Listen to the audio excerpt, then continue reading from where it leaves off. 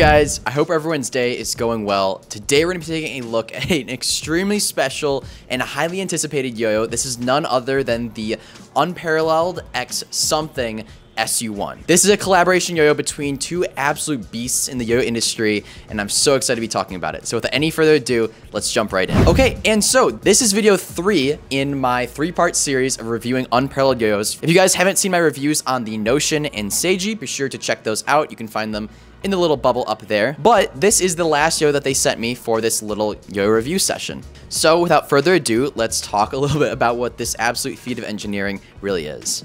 Okay, so you guys all know Unparalleled, and I think most of you guys know what Something, the yo-yo company, is.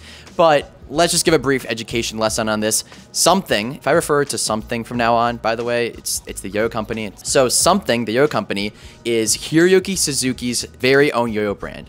You guys all hopefully know who Hiroyuki Suzuki is. He is an absolute legend in the yo-yo industry and makes some pretty incredible yo-yos from what I've heard. I've never been fortunate enough to own just a, you know, solely something yo-yo yo-yo, but from what I can tell, he's making some high performance, really, really incredible yo-yos, and this yo-yo is no exception. And so what happened here is unparalleled, and something decided to do a collaboration and produce this beast of a yo-yo. And so in today's review, we're gonna be checking this out. To start things off, let's take a look at the specs, and then we can take a little look around the yo and how it was designed.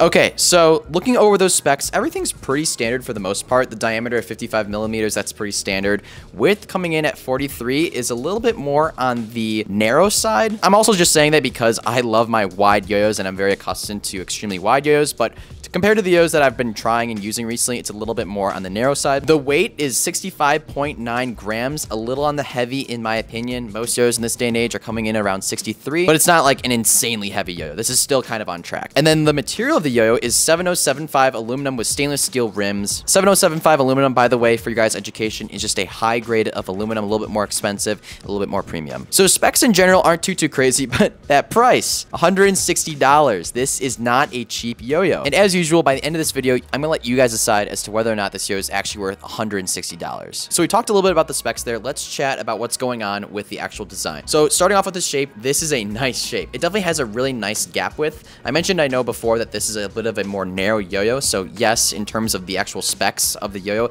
the width is kind of small. However, the gap width, given that existing kind of width, is really nice and open. You can see that it's got a really nice steep curve down to the bearing, some very nice low walls there. We got those super thick stainless steel bimetal rims that look amazing. And there's definitely a lot of cuts in this design. You can see there's just a ton of little jig-jag cuts that lead down to the center. In my opinion, shape is very comfortable, not, not too sharp in any way. It doesn't really hurt when it comes back to your hand. That's a really good thing. Now moving on over to the cup, we can see all of those little cuts kind of outlined right there, and it leads down to a very flat center that has kind of a combination of the something and unparalleled logos. Look how cool that is. I really, really like that. It's a nice art design, and it's nicely engraved onto the yo-yo. In general, this is a super clean looking yo-yo. I honestly find it somewhat similar to the Surveillance in terms of shape and design. Obviously, those two yo-yos are completely different from different companies, but I just see some similarities here and there. Maybe you guys see the same. Okay, so how does the SU1 actually play? This yo-yo is beyond solid. This is quite, possibly one of, if not the most long spinning yo-yos I have ever used in my life. When you throw it down, you can really rip this thing and just feel it tear off that string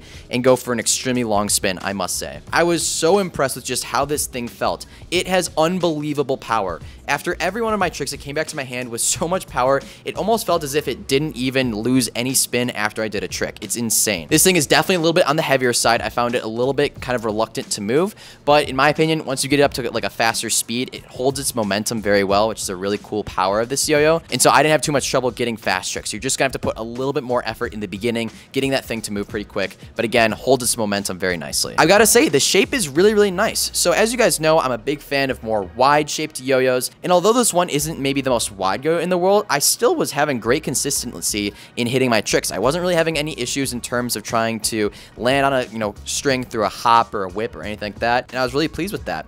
I think that's just a testament to the nice open gap that this yo has. So again, it may not be the most wide yo in terms of straight dimensions. However, because of the shape and how steep that slope down to the bearing is, there's just a lot of room to land the yo on the string. So I was having great success there. For regens and binds, I had really, really good performance there. I'm using kind of the default response pads and then also some normal string. And I didn't have too many snags. It's definitely a little scary to do a regen with this yo just because it is so powerful and has so much spin to it. So sometimes when I would do a regen thinking that the yo-yo was, you know, just about losing spin, it had so much power, it just came back to my hand so fast, which was kind of a cool thing. But still really nice regen capabilities, not too much wobble when it came off the string. This yo's immense spin capabilities and really nice weight distribution, and also the fact that the shape kind of prevents the string from touching against the side of it. This thing is a beast for horizontal. I was able to, you know, kind of jump in two horizontal tricks after one another, which I had never been able to do before. So, so impressive there. Really, really great design. And so in conclusion, I think the SU1 is just an animal of a competition yo-yo. It's so expensive. $160 is a ton of money. However, you do have to take into account they're using some very premium metal. It's a collaboration between two esteemed companies, and it is a bimetal yo-yo. So there's two different metals going on this actual yo-yo. In terms of competition performance, if you're looking for a very, very light competition yo-yo, I would not recommend buying this just because it's not like the lightest, most dainty thing in the world. But if you want a strong and powerful yo-yo that has literally so much spin time and like to do those longer combos, you'll be very, very satisfied with Again, it is totally expensive, but if you are serious enough about yo-yo or have the money lying around and want a competition yo-yo that will absolutely not fail you, this is a really, really solid choice. When I first threw this thing, I was honestly just so surprised, and I still am every single time I throw it. I am just so impressed with how this yo-yo plays. Okay, and that's about it for my review of the Unparalleled and Something SU1. If you guys did enjoy, be sure to leave a like. Also, if you guys are new here and haven't seen the videos before, hit the subscribe button can see whenever I post a new video. I hope you guys all have a great rest of your day, and I'll see you next time. Peace.